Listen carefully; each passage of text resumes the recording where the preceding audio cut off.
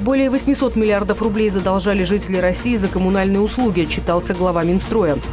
При этом собираемость платежей по стране увеличилась более чем на 100%. Регионы-лидеры – Воронежская, Костромская и Кировская области. Хуже всего дела с оплатой коммуналки на Северном Кавказе. По оценке Минстроя, лишь 2% жителей не оплачивают счета из-за сложных жизненных ситуаций.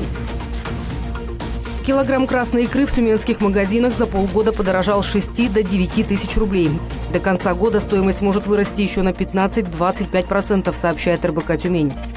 Скачок цен эксперты объясняют рекордно низким выловом лосося. При плане в 320 тысяч тонн добыча составила 231 тысячу. Красной икры в этом году в три раза меньше, чем в прошлом. Тюмень продолжают озеленять. В этом году по плану высадят более 8 тысяч деревьев и кустарников. За последние три года в областном центре появилось больше 24 тысяч новых растений. Вдоль улицы Фармана Салманова высадили самое большое количество – 880 деревьев. Сейчас работы идут на ряде улиц и в скверах Никольском и Моисеенко.